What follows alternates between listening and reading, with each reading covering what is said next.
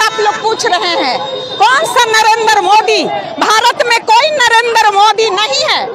कौन से नरेंद्र मोदी? कौन सा नरेंद्र मोदी? ऐसा कोई शख्स पैदा नहीं हुआ है भारत देश में। यहाँ कोई प्रधानमंत्री भी नहीं है। यहाँ कोई मुख्यमंत्री भी नहीं है मणिपुर में। मणिपुर में जो हुआ है, वो मणिपुर में नहीं, वो भारत में हुआ है।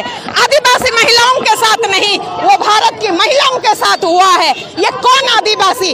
कौन बिना आदिवासी? ये महिलाओं के साथ हुआ है हर एक माँ के साथ हुआ है हर एक बहन के साथ हुआ है हर एक दीदी के साथ हुआ है हर एक बेटी के साथ हुआ है। There is no Narendra Modi there is no Bhajpa सरकार देर इज़ नो भाजपा सरकार। लोगों के हाथों पे तख्तियाँ हैं उस पे लिखा हुआ है आरएसएस को बैन करो।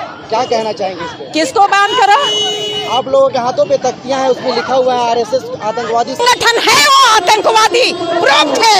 आरएसएस आतंकवाद है। प्रूफ किया हुआ है प्रूफ किया हुआ है। वो खुद प्रूफ कर रहा है आप देख रहे हैं। आरएसएस बीजेपी ही आतंकवाद है और कोई दूसरा आतंकवाद नहीं है। और आरएसएस बीजेपी को सपोर्ट करने वाले सारे लोग भी आतंकवाद है। आप मीडिया के द्वारा हम बताना चाहते हैं, जो भी सपोर्ट करते हैं, वो भी आतंकवाद है, क्योंकि वो उनको बढ़ावा दे रहे हैं। और पूछिए। सबसे पहले तो आपके चैनल के माध्यम से भाजपा के द्वारा शासित केंद्र सरकार को मैं खुली तौर पे कहना चाहता हूँ कि आप आदिवासी विरोधी हैं, आप राष्ट्र विरोधी हैं, आप देश विरोधी हैं। आपका इस देश में शासनकाल अब खत्म होने वाला है। जिस प्रकार से मणिपुर में हम आदिवासियों के खिलाफ जो आपका जो काला कारनामा, काला करतूत जो निकल के सामने आया है, इससे पूरा देश पूरा देश शर्मसार हो गया है।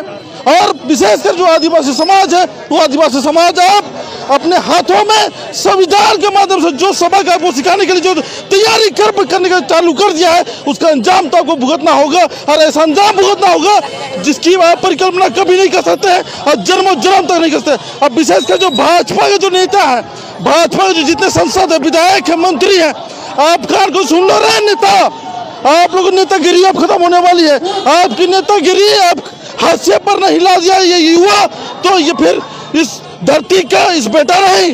और आप लोगों कान खोल के सुन ले कि आपने उस आदिवासी माँ, बहन पर जो अत्याचार कर रहे हो, जो आपने घिनौना काम किया है, आरएसएस का जो दलाल, आरएसएस के जो चमचे और भाजपा के चमचे दलाल, आप सब लोगों को, आप सब लोगों को अंजाम भुगतने के लिए तैयार रहना है। पूरा आदिवासी समाज गोलबंद हो जा गया है। आप लोगों का सबक सिखाने के लिए। जिस तरह से नरेंद्र मोदी बेटी यह अत्याचार यह अत्याचार पूरे आदिवासी समाज में ऊपर किया जा रहा है। और इस अत्याचार का करारा जवाब देने के लिए आप आदिवासी गोलबंद हो चुका है। पूरे देश में इसका परिणाम देखने के लिए मिलेगा। और वो है 2024 में साफ़ तौर पर दिखेगा। और यही नहीं, अब तो यहाँ पर सिर्फ़ और सिर्फ़ भाजपा के जितने नेता है, सतर्क हो जाए। विशेषकर आदिवासी समाज का आप रडार पे है। और आपको आप आदिवासी समाज छोड़ेगा नहीं। आपको चुन चुन करके सबक सिखाएगा। आपको, आप सोच नहीं सकते हैं कि आपके साथ क्या होने वाला है। अब जो होना है सो हो क्या रहेगा। हम आदिवासियों पर तो आपने प्रहार कर दिया। अब आदिवासी अपना काम करने के लिए अब स्वतंत्र है। संविधान उसके हाथ में है और वो जवाब देना अच्छी तरह से जानता है और जवाब देगा और ऐसा जवाब देगा कि आप और आपका पूरा पार्टी और आपका पूरा संगठन तबाह हो जाएगा। सोनुगल को। सबसे पहले राज्य में सरकार मणिपुर में किनका है? बीजेपी का है। केंद्र में किसका है? बीजेपी का है। आपका डबल इंजन की सरकार एक दंगा हो रहा है जिसमें कि एक करोड़ से भी कम संख्या है वहाँ की आबादी उस राज्य का। और आपसे कंट्रोल नहीं हो रहा है। अब बात करते हैं विश्व गुरु की। अरे आपसे एक राज्य नहीं कंट्रोल हो रहा है तो आप देश कैसे कंट्रोल कीजिएगा?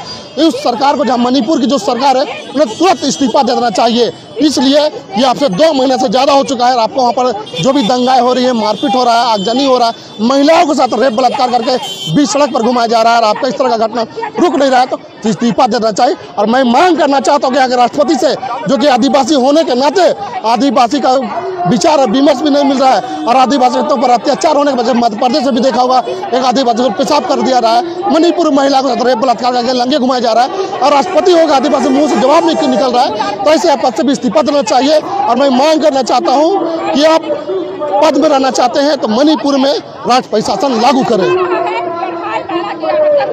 समय नहीं मिलता है।